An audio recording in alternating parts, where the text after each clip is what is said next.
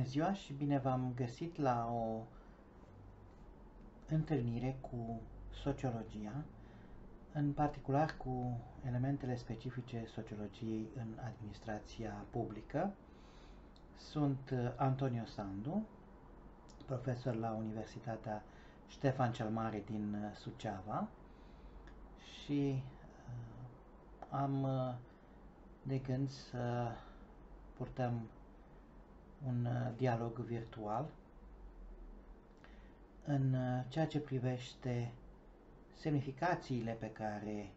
sociologia ca știință le are și modul în care această știință poate fi utilă specialiștilor în administrația publică. Această, acest curs, această introducere în uh, elementele specifice sociologiei în administrația publică are la bază uh, cursul uh, de sociologie pe care îl uh, susțin în cadrul Universității Ștefan cel Mare din Suceava la specializarea administrație publică și de aceea, mai ales pentru cei care aleg să urmeze o formă de învățământ la distanță, poate fi utilă în formarea profesională a uh, funcționarilor publici, atât în formarea inițială prin uh, facultăți, cât și în uh, formarea ulterioară, în formarea continuă, ca și cursuri de perfecționare. Ca și uh, elemente pe care aș vrea să vi le arăt, o minimă bibliografie, alături de suportul de curs pe care îl, uh, îl vedeți uh, publicat la Editura Lumen și pe care îl uh, vedeți în coperta, o vedeți pe fiecare din clipurile care însoțesc acest, acest curs.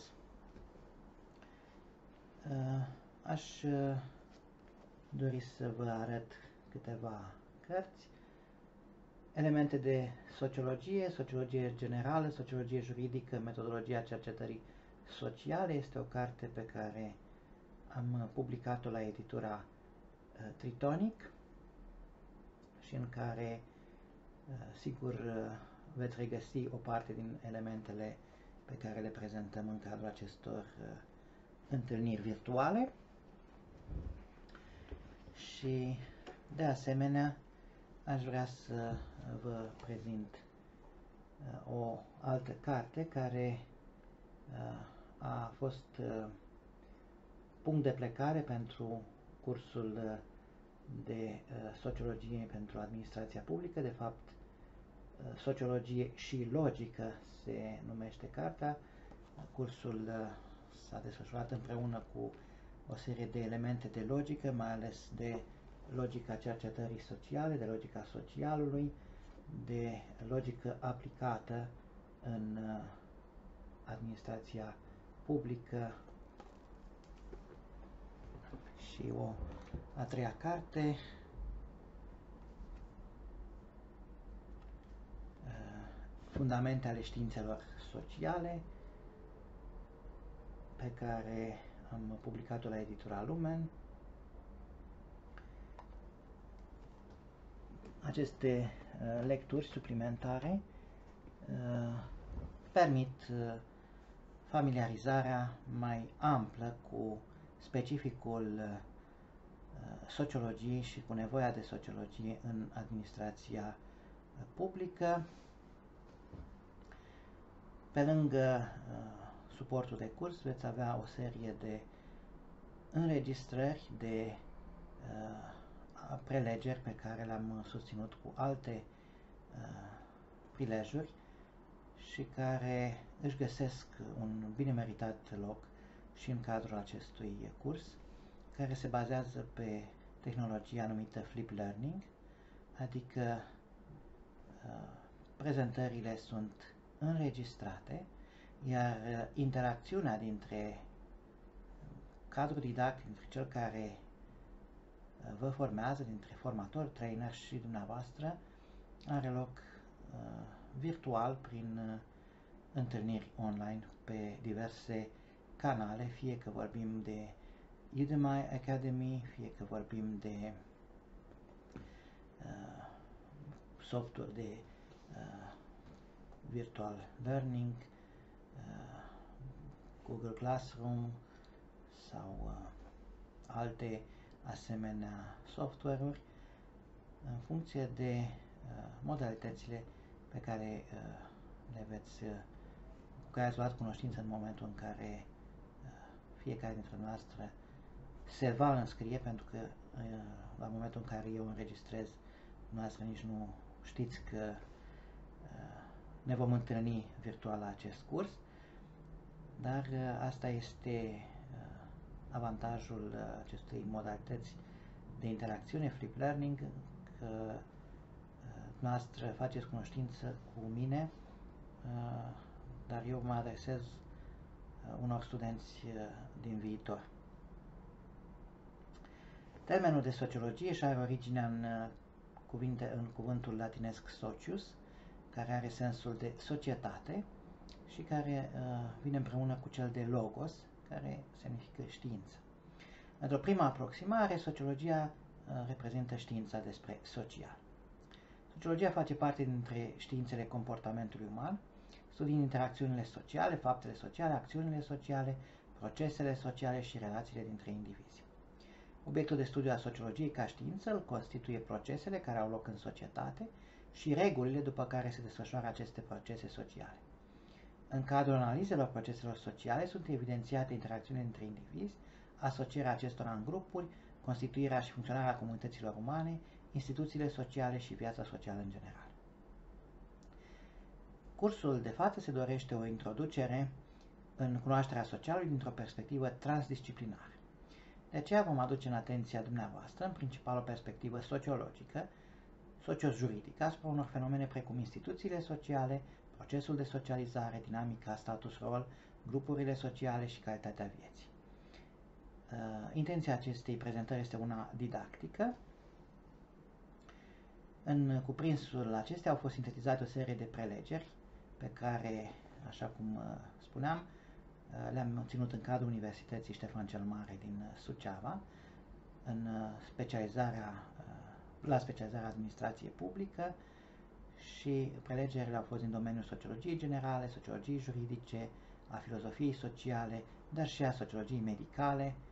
Uh, au fost incluse de asemenea o serie de rezultate ale cercetărilor sociale pe care le-am uh, realizat de-a lungul timpului, mai ales din partea teoretică a acestora, sintezea unor rezultate semnificative ale cercetărilor. Au fost incluse și câteva exemple metodologice, împreună cu susținerile empirice a unor modele teoretice, uh, ca obiective ale acestui curs, în conformitate cu uh, Registrul Național al Calificărilor din învățământul superior, pentru că la bază acest uh, curs se adresează studenților de la specializarea administrație publică, dar este uh, în mod egal accesibil elevilor care se pregătesc la disciplina sociologie profesioniștilor din domeniul administrației publice care Uh, doresc să înțeleagă uh, mai mult despre uh, dinamica și construcția socială a profesiei pe care o urmează. Spuneam că obiectivele acestui curs sunt formarea unor competențe precum acelea de utilizare a conceptelor și a principiilor fundamentale de organizare și funcționare a structurilor administrative pentru inserția profesională în instituții publice sau private. De asemenea, urmărim descrierea principalelor concepte, teorii, metodologii și proceduri utilizate în organizarea și funcționarea structurilor administrative,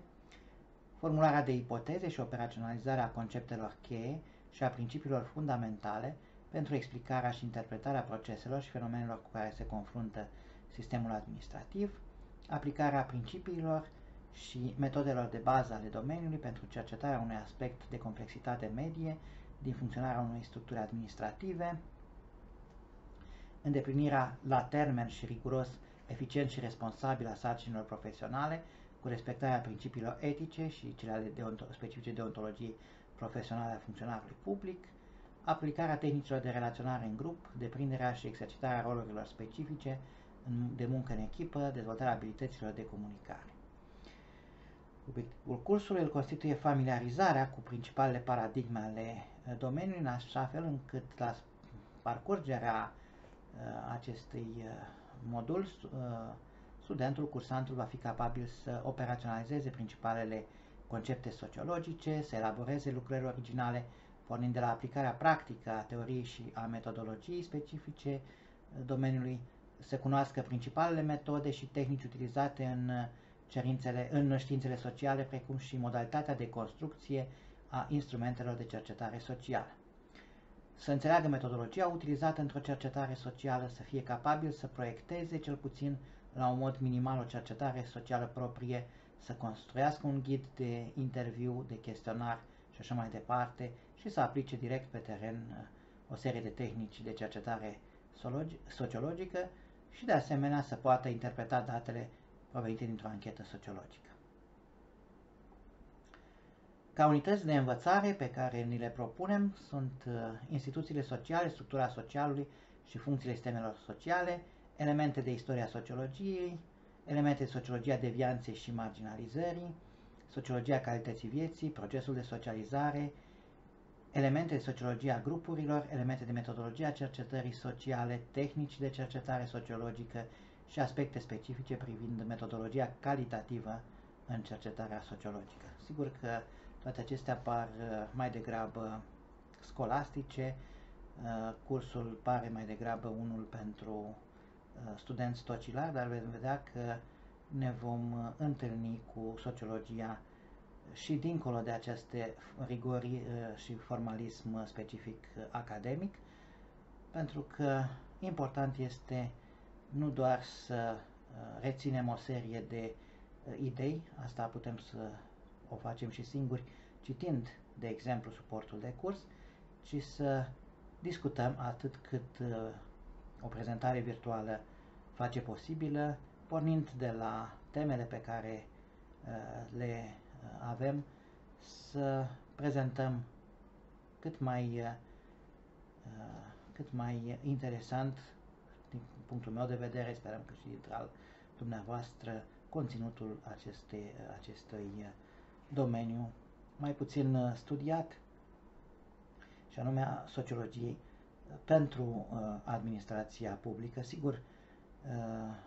adresanții, uh, specialiști în administrație publică sau viitorii specialiști în administrație publică, ar trebui să aibă o serie de competențe pe care să le poată ulterior uh, exercita în, în uh, exercitarea uh, profesiei și ca atare accentul va fi pe aceste competențe, pe formarea acestor competențe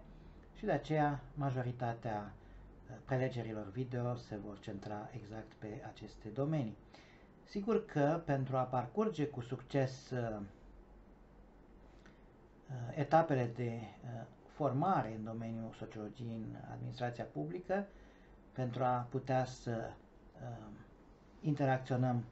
nu doar dumneavoastră ascultând o serie de prelegeri video, va trebui să vă implicați uh, și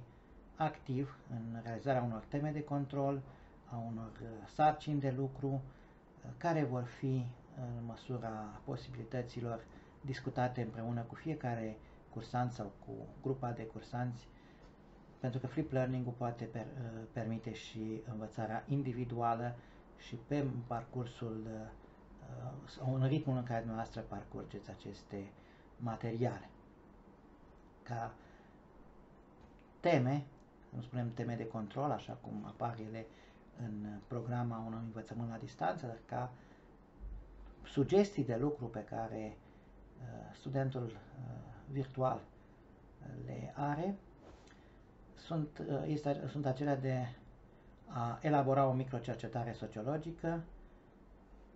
cu o temă sugerată, încrederea publică în instituțiile care compun administrația publică locală a localității în care locuim.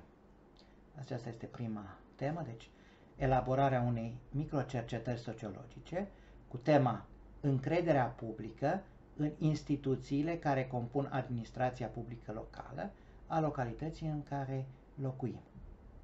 Cea de-a doua uh, temă reprezintă, este elaborarea unei anchete sociologice prin chestionar cu privire la calitatea vieții în localitatea dumneavoastră. Și aici uh, aș dori să se explice pe larg indicatorii obiectivi și subiectivi ai calității vieții. Noi, le vom, noi vom discuta uh, pe parcursul acestor prelegeri și vom, uh, îi vom explica, nu doar discuta. Și atunci, uh, pe măsură ce veți uh, uh, înțelege care sunt acești indicatori, ce înseamnă calitatea vieții, uh, să puteți să construiți dumneavoastră un chestionar și să-l aplicați în localitatea în care locuiți și să uh, obțineți rezultate și să vedem împreună care sunt acestea și să le discutăm.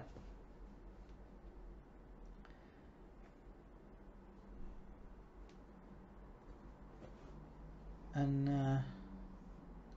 cuprinsul acestei, uh, acestei prezentări virtuale vom avea mai multe unități de învățare, fiecare va fi parcursă în câteva prezentări video și de asemenea în informații tipărite, în sugestii de lectură, sugestii de lectură suplimentare, teme de lucru sau teme de evaluare, veți avea mini-glosare, rezumate, o bibliografie minimală, un test de autoevaluare și la final un test de evaluare finală în parcurgerea întregii Uh, întregului conținut al acestei, uh, al acestui uh, curs. Deocamdată vă mulțumesc pentru atenție, sunt Antonio Sandu și ne întâlnim împreună cu sociologia și cu specificul sociologiei pentru administrația publică.